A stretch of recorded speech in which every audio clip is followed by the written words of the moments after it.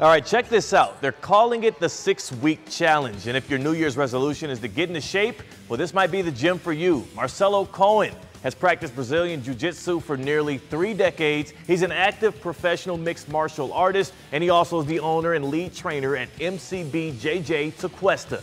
The Premier Black Belt Academy works with folks of all skill levels, and the six week challenge consists of three classes per week, which, you, which can whip you into shape and might even get you hooked.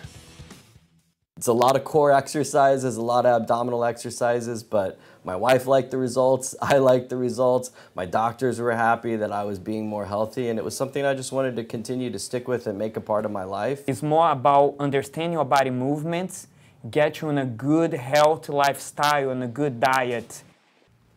That's a look at sports. We'll be right back.